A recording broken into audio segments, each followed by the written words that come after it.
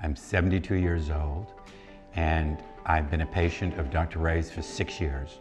I was referred to her by uh, my dentist, Dr. Farrow, and they've done a wonderful job here.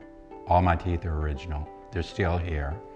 Um, I wasn't born with good dental genes, but I've got good dental care, and I think that's why I've still got my teeth. Nothing was a surprise, um, and ex explained everything and what they were going to do, what they needed to do, and uh, that's been going on now for six years. Um, the staff here is wonderful. Malia is terrific, uh, and uh, Wendy, the whole staff, from receptionist to, to Dr. Ray, I'm completely satisfied with them.